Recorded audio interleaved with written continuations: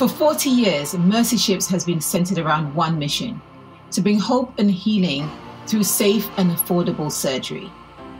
But what if surgery wasn't the finish line? What if surgery is just the beginning? You see, for many patients in the countries we visit in Africa, surgery is the difference between a life of survival and a life where they're actually able to thrive. A life where post surgery they can go back to school, they can go back to work, or to even care for their own families and friends.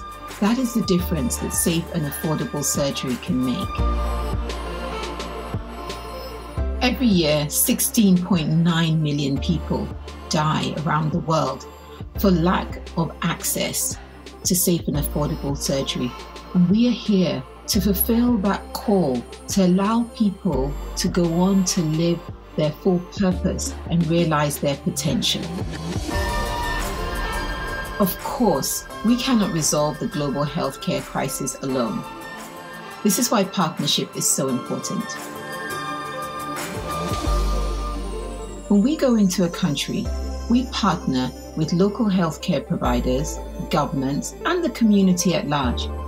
This means that the practices that we introduce when we are performing our surgeries are sustained beyond our presence and go on to impact the wider community after we have left.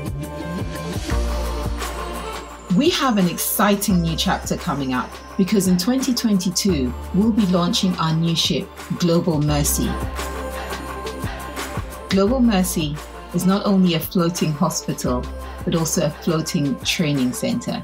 And it will help us deepen those partnerships and make greater impact as we visit countries.